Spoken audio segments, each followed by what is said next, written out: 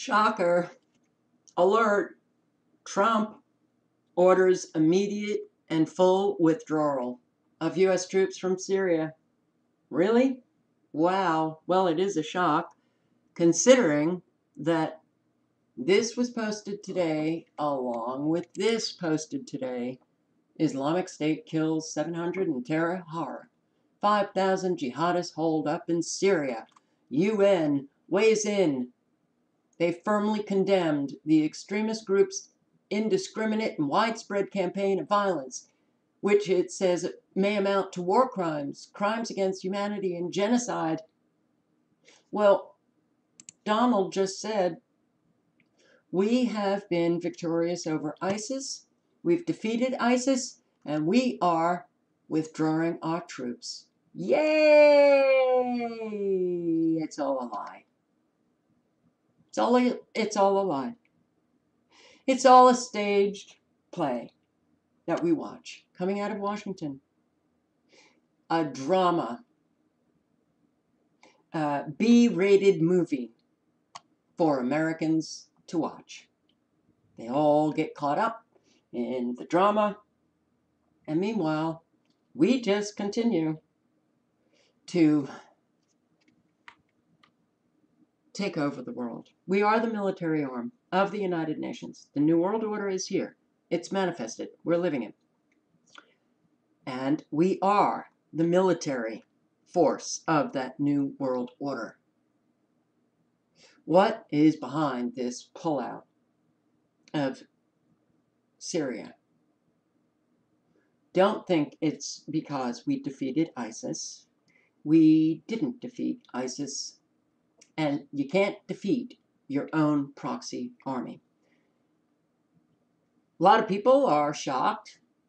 Uh, shocked decision to pull out U.S. troops. Huge mistake. His de uh, declaration of victory over ISIL openly contradicted by the British government, but also by our own government officials.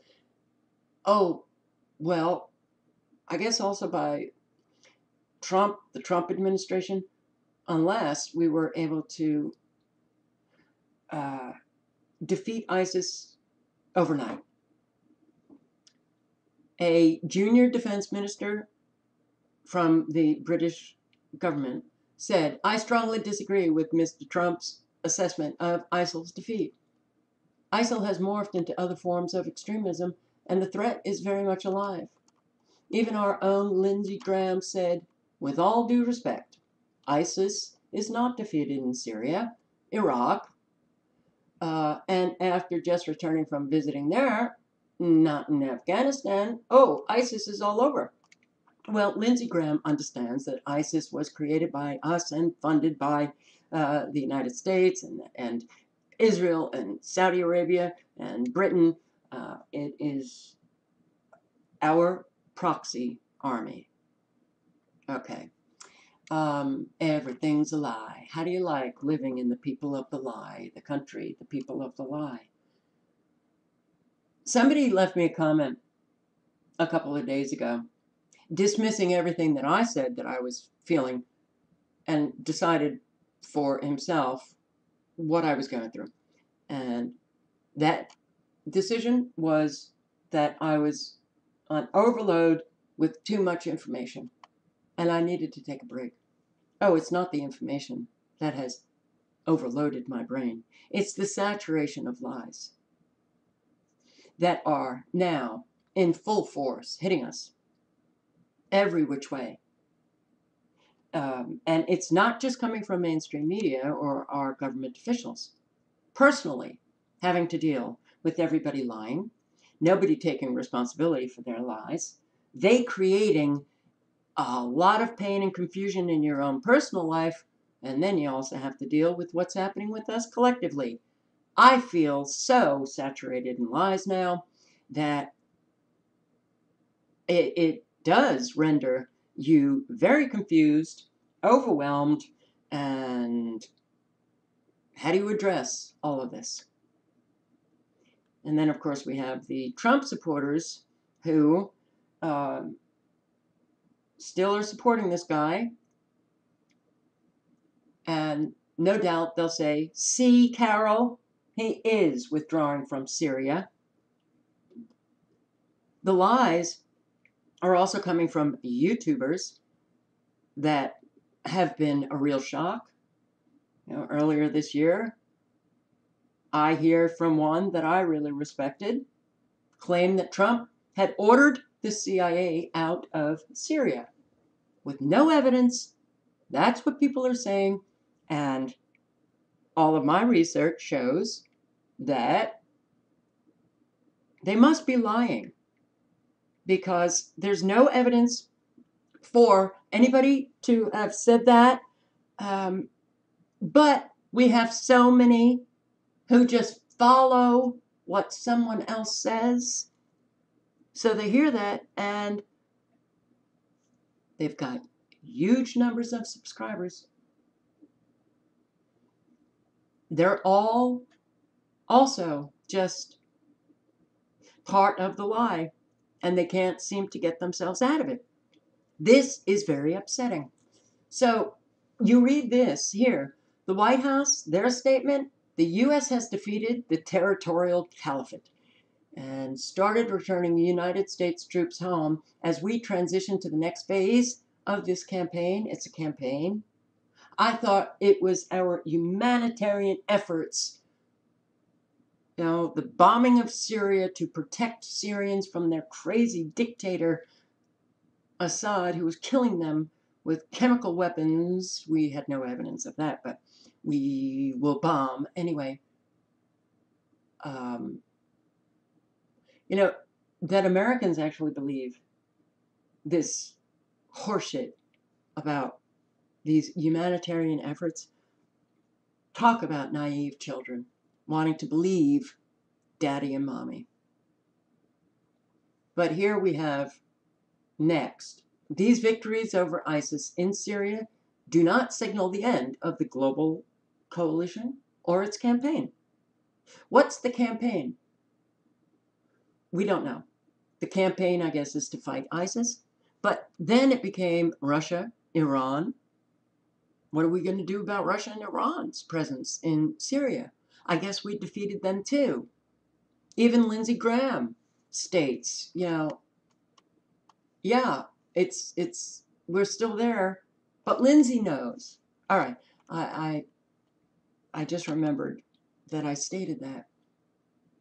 But the decision is likely to frustrate Israel, who saw the U.S. presence in Syria as a way of counterbalancing Iran's own deployment in the country. Do you actually believe that this guy is going against Israel? That this guy is going to frustrate Israel? You'll see, but unfortunately, all we can do is speculate that we may be going into Central America now, and Israel has their own interest in Central America.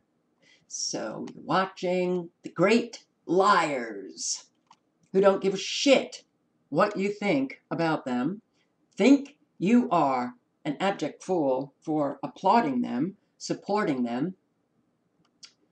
And it's unfortunate because all agendas continue full steam ahead.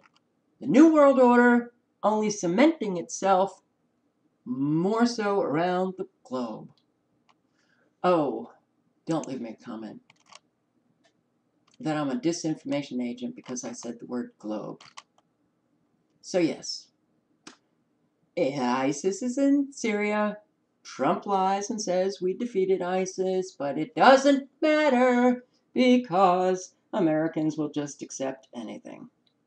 Not everyone, not you guys, not me, but most. So, this October 16 of this year, Trump administration has new plan to drive uh, uh, Iran out of Syria. Well, Iran, the axis of evil, Iran. Oh my God, Iran, North Korea. They're going to destroy American cities. They're going to drop a bomb on us. Iran, they cannot get a nuclear uh, bomb. We have to stop them. We've got to stop them. And they're in Syria. So The administration, of course, because Iran is our mortal enemy. They want to kill us.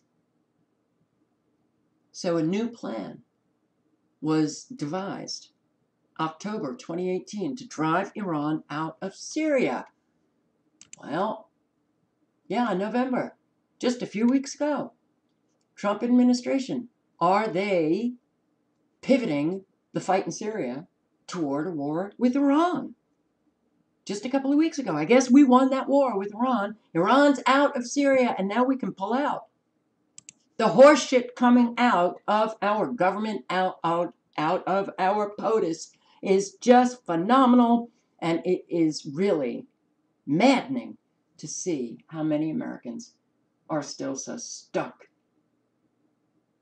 in this disgusting staged play that goes on here in our country. In America's hidden war in Syria, troops face peril on many fronts. When was this posted? Oh, five days ago. It lies at the heart of the United States' newest commitment to a Middle East war. Oh, wow, five days ago. Okay, overnight. Suddenly, we've defeated ISIS. Can you not see through any of this? Does this not beg questions in your mind? At least, at least, does it not beg questions? Five days ago, President Donald Trump indicated in March that the troops would be brought home once the battle is won.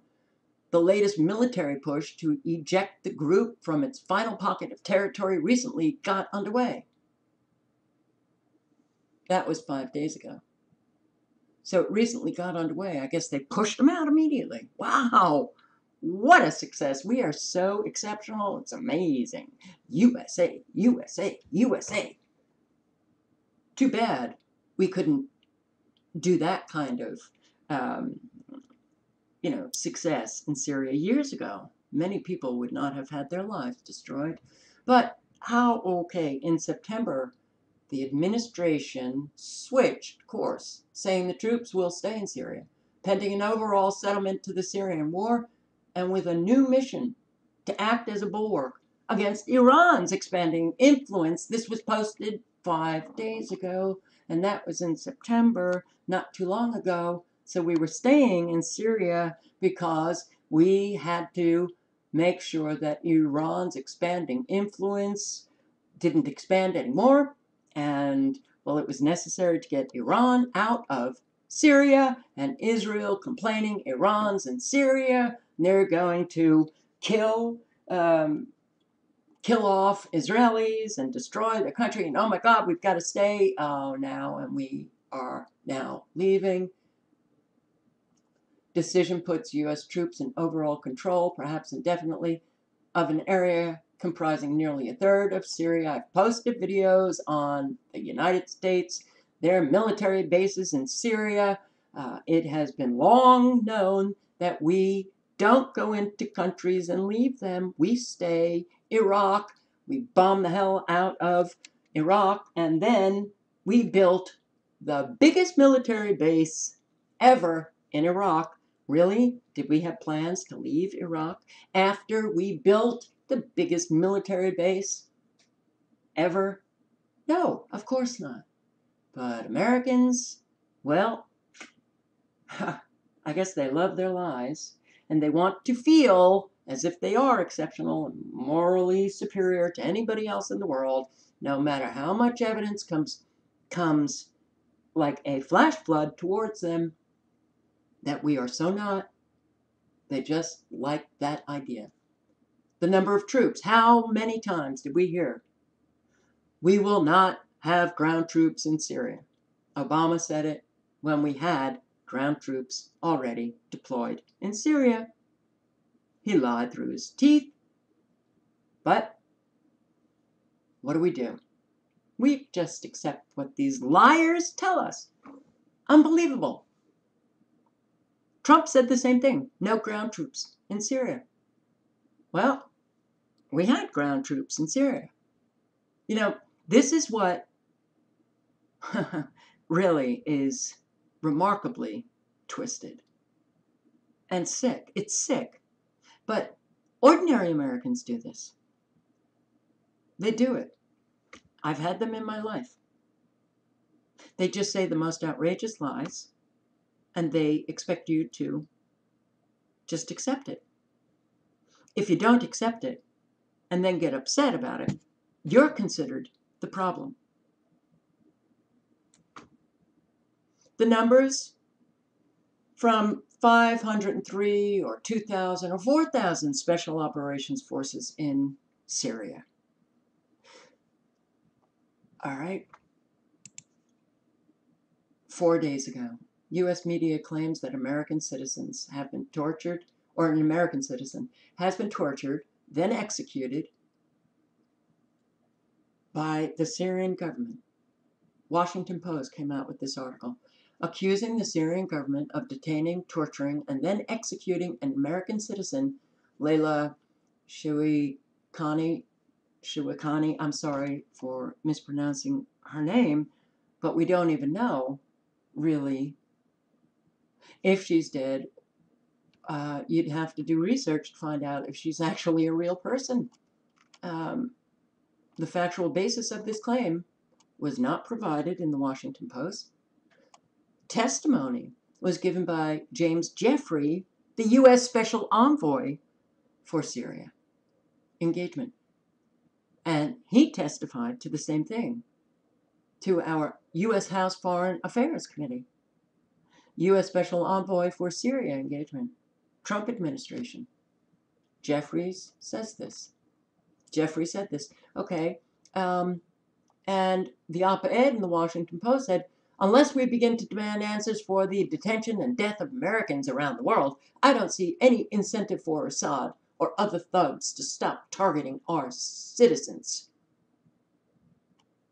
That was four days ago. Four days ago, we had someone in the Trump administration claim that Assad, his government, detained, tortured, and executed an American citizen. But we're pulling out of Syria. Do you see that there's something wrong with this picture? Trump comes into office. We use that bullshit claim again. Assad used chemical weapons against his own citizens. Trump doesn't wait for evidence. He bombs Syria to protect the Syrians from that crazy lunatic, Assad. So I guess Trump cares more about Syrians than he does Americans. Uh, the Wall Street Journal, four days ago, U.S. citizen believed executed in Syrian prison heightens fears for others. If we just allow Assad to detain and torture and execute one American citizen, then he's going to be torturing and killing more American citizens. So Trump what you going to do about it? I'm going to declare that we have been victorious over ISIS and I'm pulling our troops out. So, yeah. Okie dokie. It's sad. It's really sad. Open ended military presence in Syria. There will be an open ended military presence in Syria despite this lying, crazy person in the White House claiming we are getting out of Syria. Obama did the same thing. We're getting out of Iraq. And we didn't get out of Iraq. This, the end of September, another senior advisor for Syria, Middle East, North Africa, she testified September 27, House Foreign Affairs Subcommittee. Okie dokie, well, what does she claim? Syria's multifaceted and its regional, if not global, reverberations continue to pose a significant challenge to U.S. strategic interests. Yes, strategic interests. Oh, perhaps not humanitarian efforts? Syria's brutal conflict is entering its most dangerous phase with significant geostrategic and humanitarian consequences. But what does she say about Iran? Iran, the axis of evil, We've got to stop Iran. They want to destroy um, Israel and they want to kill Americans. Tehran has supported Assad with troops, weapons, funding. They mobilized a fighting force of 25,000 from Afghanistan, Iraq, Pakistan, Lebanon, uh, thousands of Hezbollah fighters. Uh, they've deployed those fighters to nearly 40 facilities across Syria, but we're pulling out. I guess Israel is no longer concerned. Okie dokie. Very good article. Thank you to the subscriber who sent this along to me. The United States are preparing a war between Latin American states. I learned some information. Very interesting. Okay, so uh, when we cease those creating wars, and I'm not going to say if, if they must cease creating wars in the greater Middle East, they'll just turn around and inflame the Caribbean basin. Well, I don't think we're going to cease any wars in the greater Middle East. And the ceasing of those wars will be when our troops have complete control over those countries. And we're nearly at it. We have nearly achieved that. But the Pentagon is planning to assassinate an elected head of state, ruin his country, and undermine the unity of Latin America. John Bolton, who was appointed by Trump, looked at Trump's appointments. Virtually every head of our federal agency, those appointments by Trump, are following the dictates of the United Nations and they are implementing Agenda 2030 throughout the country. Uh, his cabinet, many are the Goldman Sachs appointees that every president appoints. Not the same people, but people that are Goldman Sachs employees the bankers. And he has brought back the neocons. So, this uh, national security advisor to Trump, John Bolton, has relaunched the Pentagon's project for the destruction of the state structures in the Caribbean basin. After 9 11, Donald Rumsfeld, another evil, psychopathic nut job, he created the Office of Force Transformation. Force transformation. The forcing the transformation of other countries. And nominated Admiral Arthur Schabrowski. I don't even know if that's the correct pronunciation of his name. But he was the director of this Office of Force Transformation.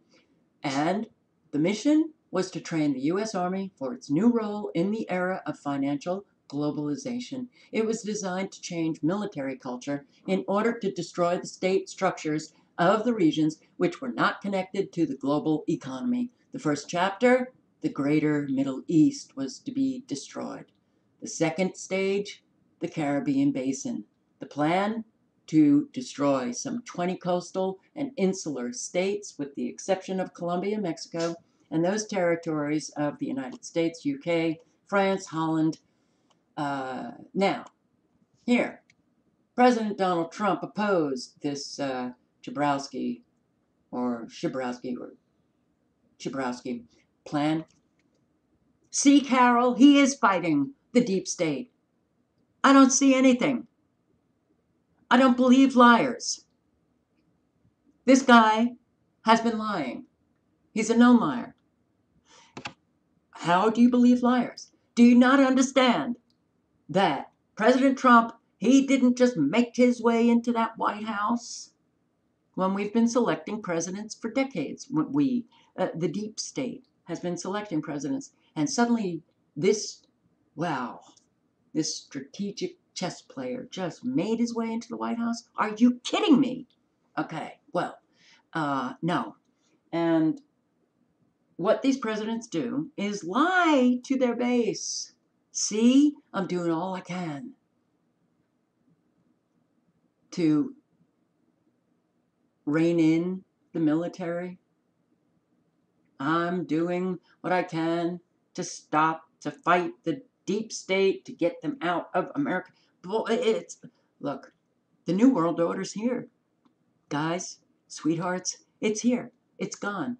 The United States of America, it was gone a really long time ago, but we don't have it's all an illusion that you are watching and living. You live deluded in an illusion that we still are the United States of America. We're not. Donald Trump is the CEO of the United States Corporation, and that corporation is the military force of the one world government. That's why it's all over, all over the world with all of its military bases. And that's why it is going to regions around the world, destroying countries. All right, so uh, Admiral Kurt Tidd. It was revealed. A note from Admiral Kurt Tidd, Commander in Chief of Southcom, exposing the operations aimed at Venezuela. We've got these Americans who say, see, socialism doesn't work. Look, I'm not saying it does. All I'm saying is they believe that horseshit that comes from mainstream media. Socialism. Look, look, it's uh, destroyed Venezuela. It's not socialism.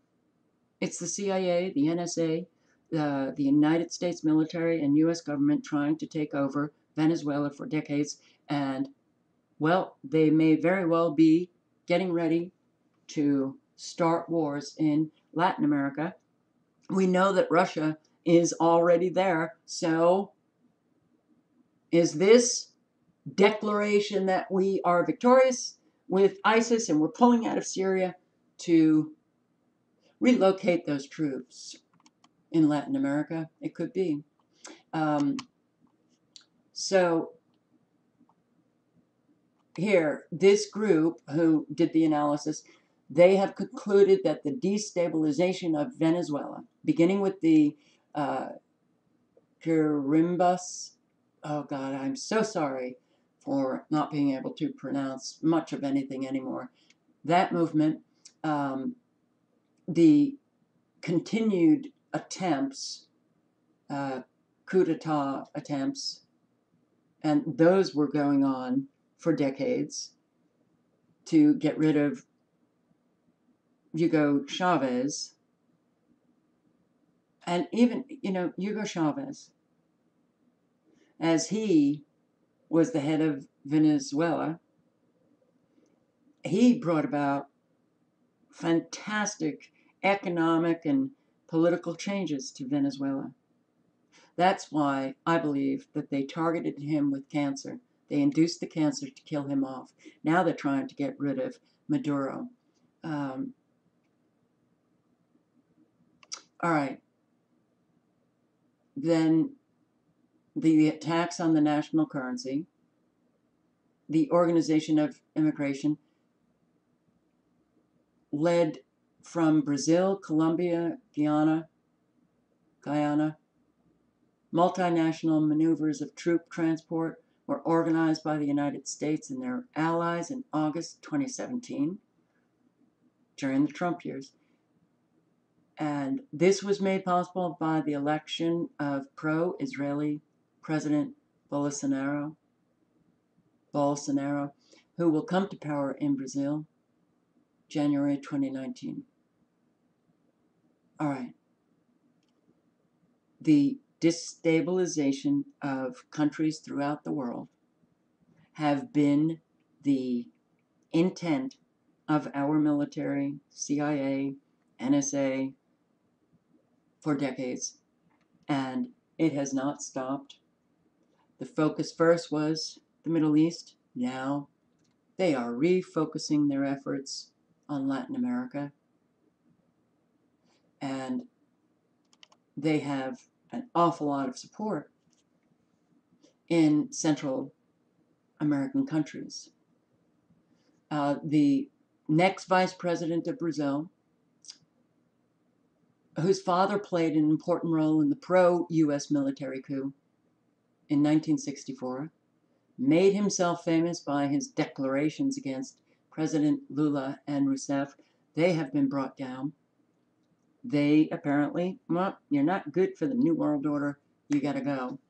Um, 2017, this guy declared on behalf of the Grand Orient of Brazil that the time for a new military coup had arrived, and he announced an impending overthrow of the Venezuelan president Maduro and the deployment of a Brazilian peace force. Um, it constitutes a violation of the United States, uh, United Nations Charter, but who cares? The United Nations, as long as your violations are in accord with our dictates, you ain't violating anything. Um, so the uh, the elected president Bolsonaro declared that no one had any intention of going to war with anyone, and that his vice president he talked too much. Well, we'll see if that president reins in his vice president. But President Maduro on December 12, that was just a few days ago, revealed that the U.S. National Security Advisor John Bolton was handling the coordination between the teams of Colombian president and the Brazilian vice president. A group of 734 mercenaries is currently being trained in Colombia uh, in order to perpetrate a false flag attack, allegedly by Venezuela, against Colombia thereby justifying a Colombian war against Venezuela. That will be in a theater soon. Coming to you soon in a theater near you. A new war. Mercenaries. Those mercenaries are supported by special forces stationed on U.S. military bases in Colombia and Florida. The U.S. plan is to take over from the beginning of the conflict, the three Venezuelan military bases. And then they're going to do what they've been doing in Syria. United States taking over country. Russia to come in to save that country. See, Russia good, United States bad. All a stage play to get the masses to believe anything. Oh, Jesus, I, the U.S. National Security Council is attempting to convince various states not to recognize Maduro's second mandate. He's coming back into power uh, at the new year. Uh, the Lima Group has, uh, they, the Lima Group, uh, which is Argentina, Brazil, Canada, Colombia, Costa Rica, Chile, Guyana, Guatemala, Honduras, Mexico, Panama, Paraguay, and Peru whole lot of countries. This Lima group decided to not recognize uh, the presidential ballot even before the election took place. The migration crisis turns out to just be another manipulation. The Venezuelans who were who were fleeing their monetary crisis, moving to other Latin American countries um, to find work. Well, they're wanting to return to Venezuela, but the Lima Group prevents them from, from doing so, forbidding Venezuelan planes who are attempting to repatriate them to use their airspace and uh, preventing buses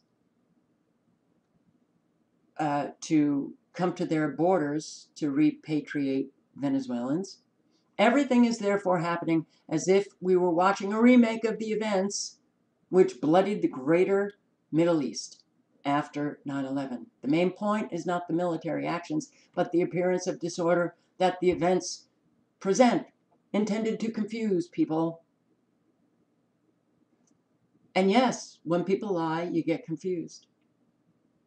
And if you're somebody who cares and you want to figure it out, it gets maddening because all you can do is speculate.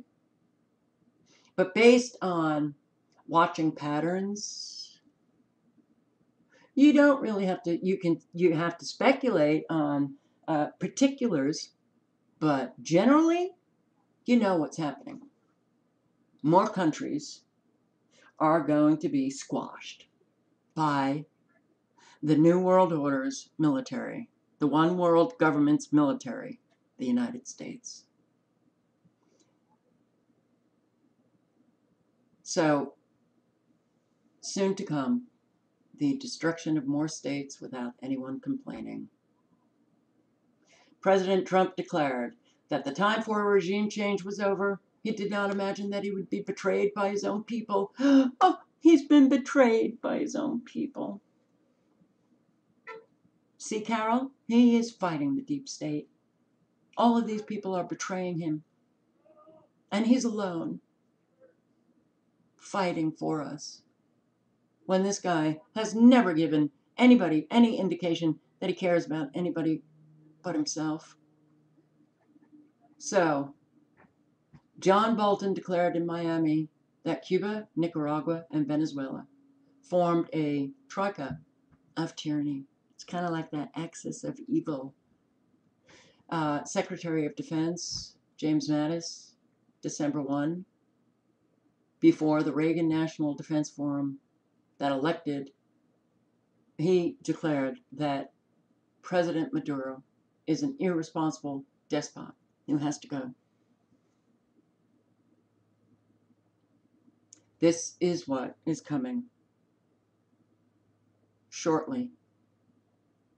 But let's focus on all of the drama coming out of Washington, D.C., unfolding, the never ending unfolding of a B movie the tragic comedy, tragic comedy that is never ending.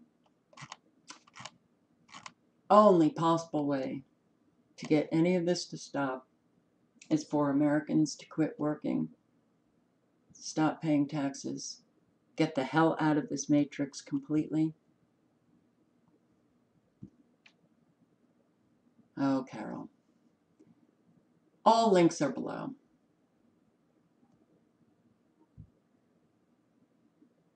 Pipe dreams. Americans love their lies.